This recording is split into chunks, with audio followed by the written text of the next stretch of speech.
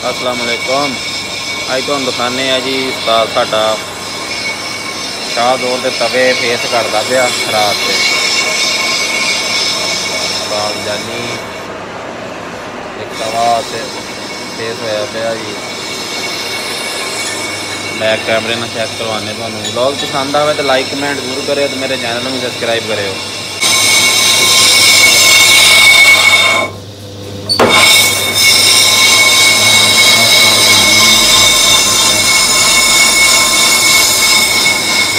ਇਹ ਦੋ ਬਾਹਾਂ ਨੇ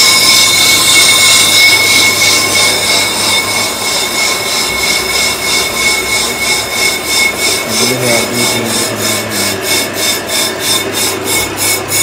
ਇਹ ਬੱਕਾ ਤੇ ਚਾਲ ਕੋਲ ਹੈ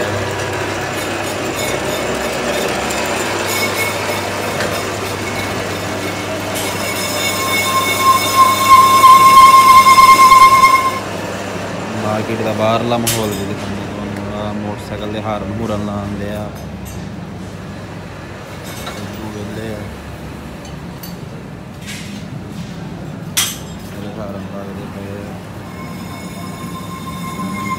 ਆਈਫੋਨ ਹੈ ਹੂੰ ਕਿੰਨੇ ਦਾ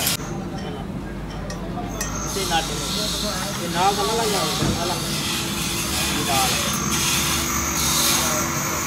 ਨਾਲ ਵਾਲੇ ਗੁਆਂਢੀ ਵੀ ਹੈ ਵੀ ਕੰਮ ਲੱਗੇ ਹੋਏ ਆ ਲੋਕ ਪਸੰਦ ਆਵੇ ਤਾਂ ਲਾਈਕ ਕਮੈਂਟ ਜ਼ਰੂਰ ਕਰ ਦਿਓ ਤੇ ਮੇਰੇ ਚੈਨਲ ਨੂੰ ਵੀ ਸਬਸਕ੍ਰਾਈਬ ਕਰ ਦਿਓ ਤੇ ਮਿਲਦੇ ਤੁਹਾਨੂੰ ਅਗਲੇ ਵਲੌਗ ਦੇ ਵਿੱਚ।